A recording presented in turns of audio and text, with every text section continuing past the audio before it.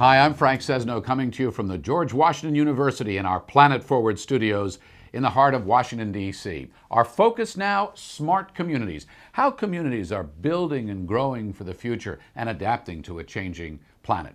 You know, for years, Brazil has considered itself a leader in this field, especially in the area of biofuels.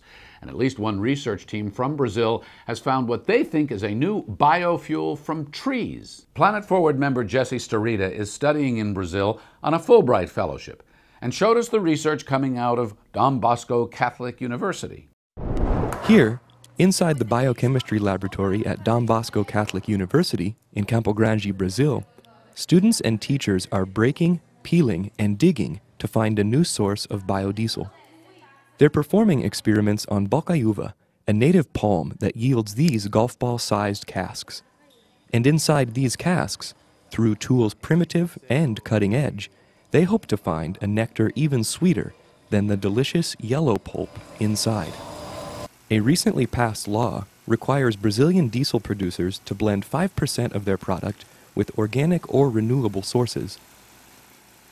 This has created a 4 billion gallon industry and made palm oils, like bocaiúva, more attractive. Escolhemos a bocaiúva eh, devido ao seu alto potencial de produção de óleo. Uh, é uma planta nativa da nossa região, então ela já está adaptada às condições de clima e de solo e ela pode chegar a produzir até 4 mil quilos de óleo the field work begins underneath these lanky palms.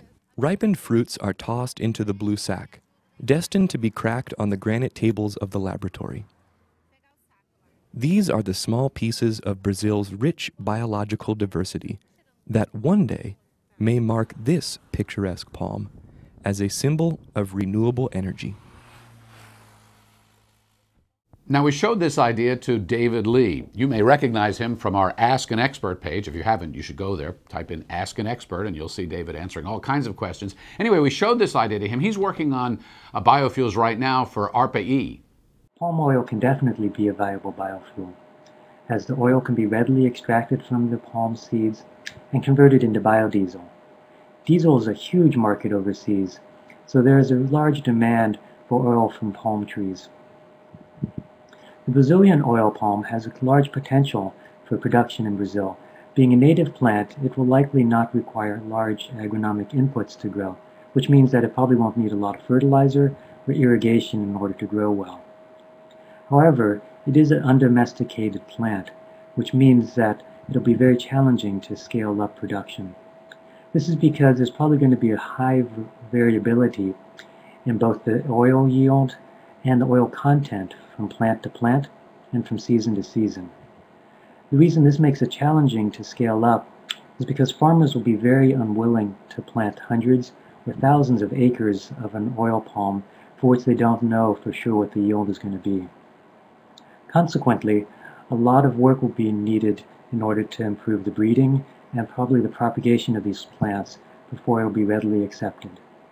So what do you think about using bocaiúva as a biodiesel fuel? Maybe you're doing some research or some work in this area, or you just have a strong opinion about biofuels. We'd like to hear. We'd also like to hear about your smart community, how it's smart now or how you want it to get smarter.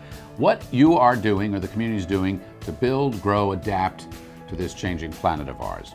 It is all, as always, at planetforward.org.